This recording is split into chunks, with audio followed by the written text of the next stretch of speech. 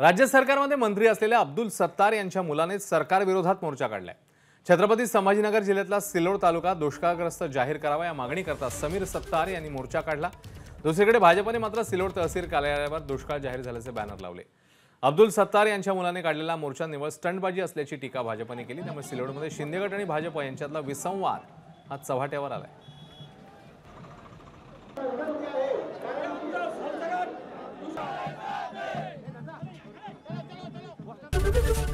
ABP माझा उघडा डोळे बघा नीट.